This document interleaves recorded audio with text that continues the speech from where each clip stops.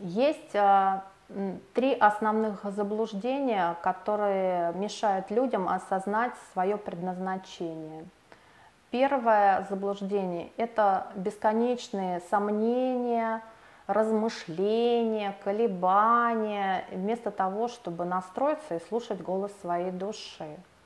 Вторая вещь – это страх, что подумают люди – это когда человек вместо того, чтобы слушать себя и интересоваться в первую очередь тем, что происходит с ним и, и что будет с его жизнью, он обращает слишком много внимания на то, как это выглядит со стороны, что об этом скажут окружающие люди. Можно сказать, что это э, захват внимания человека и увод э, его внимания в сторону социума от потребности его души.